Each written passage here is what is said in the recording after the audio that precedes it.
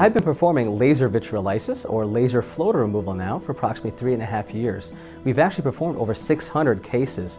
Uh, it's funny how I got started. You know, like a lot of us out there, I was kind of naive to vitreolysis and I didn't really understand the process, the technology, the technique. And and actually, I was kind of skeptical. I had a primary care doctor friend of mine who had been seeing me every single year for a floater. And every year he'd have the same complaint. I have a floater and it was interfering with his daily functioning. In fact, he couldn't even read charts. He did research on his own. He went to a colleague uh, on the East Coast who was performing YAG vitreolysis.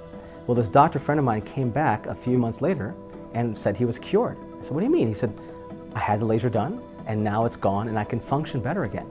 Well, just at that time, it was before the Academy meeting, and our old YAG laser had died out finally. Ellex had just come out with the Ultra QR, and at that time, I had needed a laser anyways, and they had talked about vitreolysis. Well, because my friend had this procedure done, I was curious. So I bought the laser initially, mostly for the YAG capsulotomy characteristics of it, but I started performing vitreolysis. And as I started performing this laser for floater removal, I started seeing the impact on patients' quality of life. After performing over 600 cases, I can honestly tell you that the impact is similar and it rivals that of cataract surgery, refractive surgery as well. And until you start doing this procedure, you don't really realize what it does for these patients postoperatively. A lot of the technologies that we're seeing that have been done before were technologies that were not focused or maximized for vitreolysis. As cataract surgery changed, as technology changed, so did the technique and, and vice versa. And we're seeing that with YAG vitreolysis. And one of the biggest issues we faced historically was being able to visualize the vitreous and give ourselves context in terms of how far are we from the lens and how far is a floater from the retina. Without that visualization, it's not only difficult to perform the procedure, but it's also not safe. Conventional YAG lasers do not give us the ability to have that visualization, not just in the anterior vitreous, but the middle and posterior vitreous, and not able to give us the context that we need to know safety-wise how far am I from the posterior capsule and how far am I from the retina. The other issue is trying to vaporize these floaters. In other lasers that are out there, and historically, the energy beam is slightly different. With this Ultra QR, the laser beam is truncated. It has a sharp rise and fall of the energy beam, which allows it to be more efficient. So it causes a optical breakdown or vaporization at a lower energy level.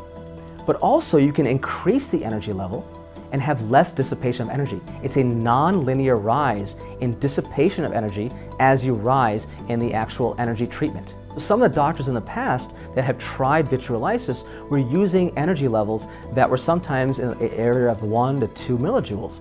And oftentimes we're using energy levels at 5, 6, 7, even 8 and higher. That the energy breakdown is not going to cause significant destruction into the vitreous as well. And that's why the technology allows us to change our technique. And because we're able to visualize better, we're able to not only identify floaters better, we're able to safely treat those that we even historically would have just left alone. One of the key differentiating factors of the Ultra QR is its ability to perform the laser coaxially. When you have an off-axis position, you lose the red glow and you lose the depth perception and lose the ability to visualize in the middle and posterior vitreous. And what the Ultra QR has is a proprietary tower that allows the user's view, the aiming beam, and the laser beam all to be on the same axis. They're all coaxial. What that allows us is to visualize and have 100% of the light and the energy of the laser visualizing and treating at the same time. So the mirror actually goes out of the way as you're firing. Therefore, you're not losing any visualization. And that's very, very important when we're talking about Weiss rings, talking about floaters in the anterior, even posterior vitreous. But that also is what allows us to give us the context to know how far am I from the retina. When I'm treating a Weiss ring over the optic nerve, how do I know if I'm going to hit the nerve? That's a very, very important and very scary issue for us. But because of this laser and because of the coaxial characteristics, we know if the floater is in focus and the retina is not in focus, I am safe enough to perform the procedure. If the floater and the retina or the optic nerve are in close proximity, then the focusing will be close to each other. So if the retina is in focus as a floater is in focus, then I know I'm too close. But the beauty of the Ultra QR is not just the coaxial illumination, It's also the ability to go back and forth and to toggle between off and on axis. In other words, we have the ability to also use it in the off axis position, which is what most of our colleagues are comfortable using. What the off axis position gives us is beautiful context and beautiful visualization of anterior structures, such as the posterior capsule.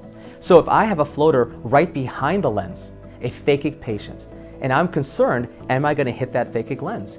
Sometimes in the on-axis position, we can see the floater, but we don't have great visualization and context of where the posterior capsule ends.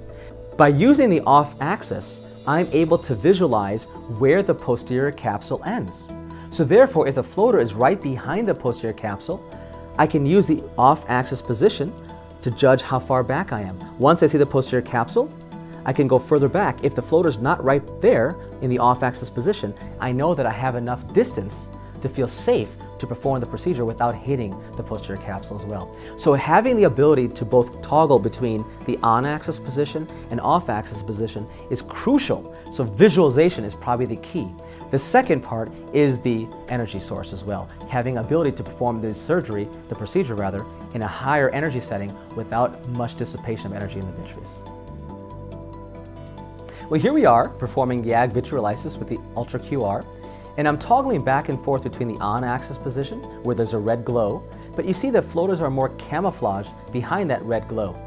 So I go in the off-axis position, and now you're seeing these floaters stark white. That's because you lose that red glow, and you get a better contrast. It also helps visualize the aiming beams and I can go anterior and posterior to help me visualize how far I am from the posterior capsule. In this accommodating lens, I do not want to pit the lens, so I'm always concerned about making sure I'm not too close to the lens that we had implanted. And you see here these floaters, what's nice about the energy profile is the floater isn't jumping far away. When you have efficient energy, these floaters tend to stay close where they are being vaporized instead of jumping far into the vitreous. And that's important because as you increase the energy, if there's significant increase in the dissipation of energy, those floaters potentially could fly away and you have to start chasing these floaters. What I've noticed with the Ultra QR is I don't see those floaters jumping far away. And that also helps with safety as well as the efficiency in terms of how much time it takes to perform the procedure as well.